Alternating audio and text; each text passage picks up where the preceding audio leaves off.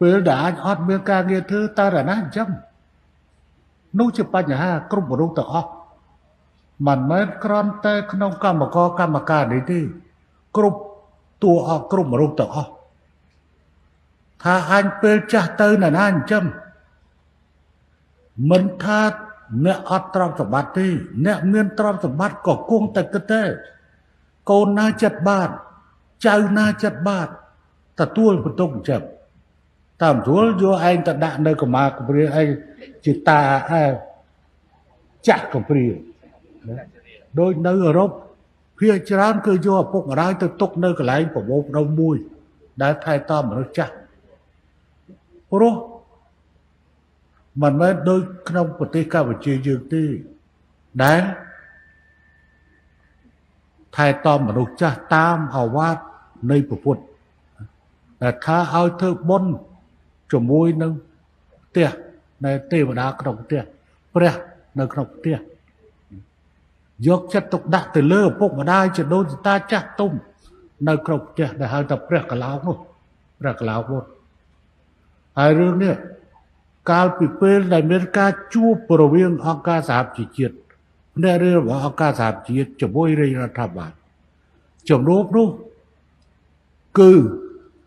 ខាងមន្ត្រីអង្គការសហជីវជាតិក៏បានលើកអំពីកង្វល់តេតិនជាមួយនឹងអនាគតរបស់កម្ពុជា គឺនឹងមានដល់ដំណាក់កាលមួយនឹងមានមនុស្សចាស់ច្រើននិងក្មេងតិចជាងវិញឥឡូវយើងក្មេងច្រើនជាងមនុស្សចាស់ប៉ុន្តែមនុស្សនៅលើពិភពលោកនេះចំនួនប្រទេសលូតលាស់ជាច្រើនចាប់ផ្ដើម ក្មេងតិចចាស់ច្រើនអញ្ចឹងក្មេងត្រូវធ្វើការចិញ្ចឹមមនុស្សចាស់ច្រើនអញ្ចឹងបានជាយើងខ្ញុំពេលនោះបានឆ្លើយតបទៅថាមានការចាំបាច់ត្រូវពង្រឹងនៅទំនៀមទម្លាប់ប្រពៃណីរបស់កម្ពុជាឡើងវិញដើម្បីឆ្លើយតប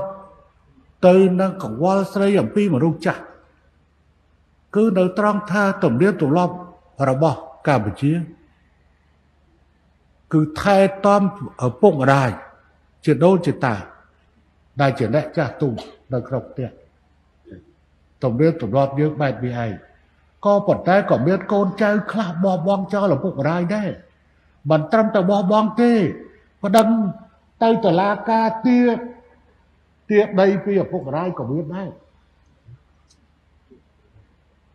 ដេញឪពុកម្ដាយចេញ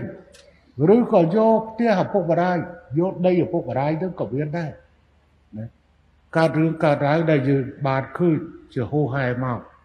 តាក់ទងជាមួយនឹងចំនួនរៀងកូនជាមួយឪពុកម្ដាយជាពិសេសច្រើនតែជាមួយនឹងគាត់ច្រើនតែនៅម្នាក់ឯងហើយកូនធ្វើបាបធ្វើបាបចិត្តធ្វើបាបអីចឹងទៅជួនកាលប្តីទៅយកប្រពន្ធទៅប្រពន្ធទៅក៏មានចិត្ត មិនត្រង់ជាមួយនឹងម្ដាយក្មេកឬឪពុកក្មេកតែប្រចេះប្តីដើម្បីទៅទៀមទាយកដីធ្លីរបស់ឪពុកម្ដាយក៏មានប៉ុន្តែរឿងនេះវាតូចតាចតិចតួចណាស់ប្រៀបធៀបជាមួយមនុស្សជាច្រើនដែលដឹងគុណចំពោះមេដាបៃតាតាមអាវាតរបស់ព្រះពុទ្ធក៏ដូចជាទំនៀមទម្លាប់ប្រពៃណីរបស់យើងពីមុនមកអញ្ចឹងមនុស្សទាំងអស់ សុទ្ធតែមានកង្វល់ដូចគ្នាទាំងអ្នកមានទាំងអ្នកគេថាអ្នកខ្សត់ឥឡូវនេះចំណុចនេះសម្រាប់គួយគួយត្រូវបានដោះស្រាយហើយគឺនៅត្រង់ថាពេលដែលគួយគួយចាស់ទៅគួយគួយមានប្រាក់សោធននិវត្តដូចមន្ត្រីរាជការកងកម្លាំងប្រាវុធ បើយោងទៅលើអ្វីដែលអាដាមគាត់សម្រេចរាយការណ៍ឥឡូវនេះអ្នកដែលស្ម័គ្រចិត្តចូលនិវត្តន៍នៅឆ្នាំ2024មានជាង4000នាក់ហើយមានជាង4000នាក់ហើយអញ្ចឹងអ្នកទាំងនោះគឺមានប្រាក់ចិញ្ចឹមខ្លួនព្រោះធ្វើការដល់កំណត់ពេលមួយដែលនឹងត្រូវដល់ពេលចូលនិវត្តន៍ កង្វល់ធំកាលពីពេលមុនរឿងនេះវាអត់មានទេកាលពីពេលមុនប៉ុន្តែតាមរយៈនៃការគិតគូររបស់រាជរដ្ឋាភិបាលដែលមានក្រសួងការងារនិងបរិយាវិជ្ជាជីវៈជាសេនាធិការយើងបានចេញច្បាប់ធ្វើច្បាប់នេះហើយយើងបានរៀបចំក្របខ័ណ្ឌកតេយុត្តទាំងអស់ដើម្បីដោះស្រាយបញ្ហាកង្វល់ដ៏ធំមួយនេះអញ្ចឹង យើងដោះស្រាយបញ្ហាតូចក៏យើងដោះបញ្ហាធំក៏យើងដោះ